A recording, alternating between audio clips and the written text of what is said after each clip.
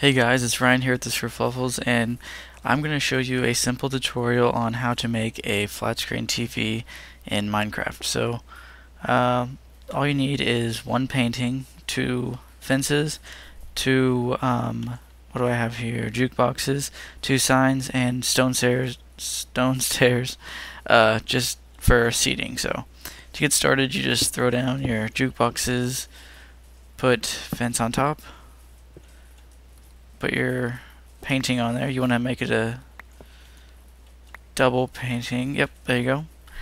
And bam, that is a flat screen TV. Um, it really does look like it too, guys. If you walk around, it's like this is the uh, speakers, and then this is the screen. It looks pretty nice.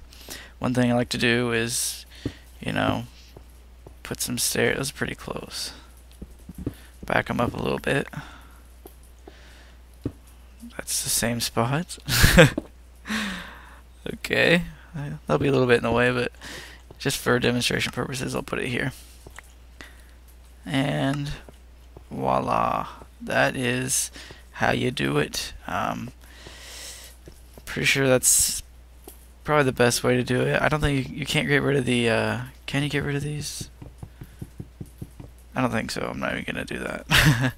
Alright guys, well, this is Ryan uh, with the SkurFluffles.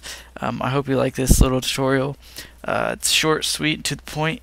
Uh, please subscribe, that'd be really nice. Um, share this video to your friends if you like it, and if you like it, give it a like.